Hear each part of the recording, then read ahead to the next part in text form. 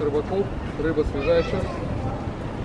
А это постоялый двор, который тоже построил э, Ахмад Паша. И первый этаж на колоннах вот этих мраморных и гранитных стоит, но он тоже находится под охраной ЮНЕСКО, поэтому разваливается здесь на глазах, правда никого не пускают. Мимо пройдем, можно щелочку заглянуть, колонны.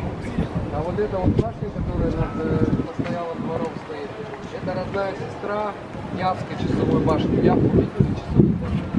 Когда-то был такой султан Абдул-Хамид II его звали, и он в 1900 году отмечал 25-летие нахождения у власти. Ему благодарные подданные сделали такой султанский подарок 100 часовых башен были построены по всей территории Турецкой империи, семь из которых в Палестине.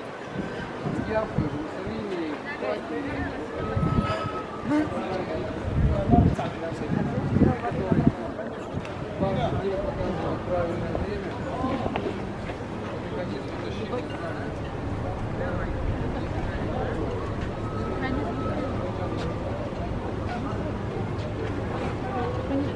at the mother.